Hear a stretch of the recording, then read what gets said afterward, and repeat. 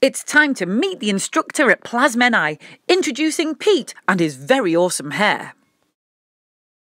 Okay, so I'm Pete. Um, I'm instructing. Well, I got my dinghy instructor when I was 17. Um, then after that, I came here to get a few more qualifications last year. So now I'm going to show these guys the basics of windsurfing pretty much, um, just so when we get out they'll know what to do.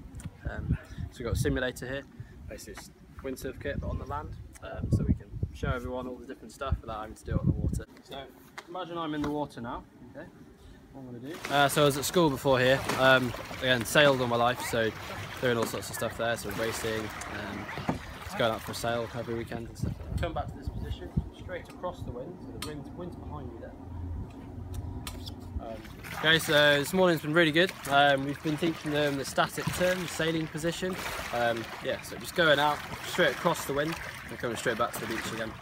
Safely learn all manner of water sports and outdoor pursuits at Plas Menai under the care of our highly qualified instructors like Pete Smith.